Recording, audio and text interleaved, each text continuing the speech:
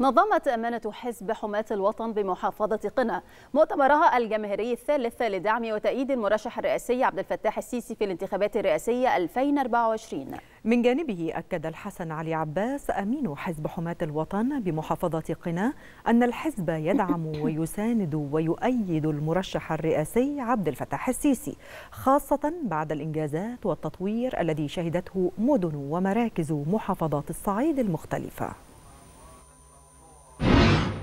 إحنا طبعا جايين النهارده عشان نقول للمواطن الدشناوي انزل وشارك في الانتخابات مشاركة فعالة ومشاركة قوية لأن معالي الرئيس يستحق مننا وواجب علينا أن إحنا بنأديه أن إحنا ندعم فخامة الرئيس نظرا للإنجازات القوية التي قام بها خلال العشر السنوات السابقة نظرا لموقفه الواضح والقوي من حرب إسرائيل على غزة. طبعا إحنا بندعم المواطن الدشناوي ونقول له انزل وانتخب يوم 10 و11 و12 إن شاء الله تعالى. إحنا كنا في مرحلة صعبة ظالمة ساعات انطلق بينا من مرحلة ظالمة تماما إلى مرحلة تقدم وتنمية ويكفينا فخرا إن إحنا دلوقتي بينا أصحاب قرار تنمية كثيره جدا في المجال الزراعي الاقتصادي الصناعي الطرق الكباري وغيرها وانشاء مدن جديدة جدا. فالحمد لله إحنا وصلنا هذه المرحلة. ما كناش نتوقع نوصل كده. وده إن شاء الله يعني هيكون رد جميل لسيادته. وواثقين تماما إن 2030 هتكون مصر في مصاف الدول العالمية اقتصاديا وعسكريا وزراعيا. وسياحيا إن شاء الله. عايزين صورتنا قدام العالم تكون صح. عايزين مصر تظهر بالصورة الحقيقية. الشعب المصري يظهر بالصورة الحقيقية.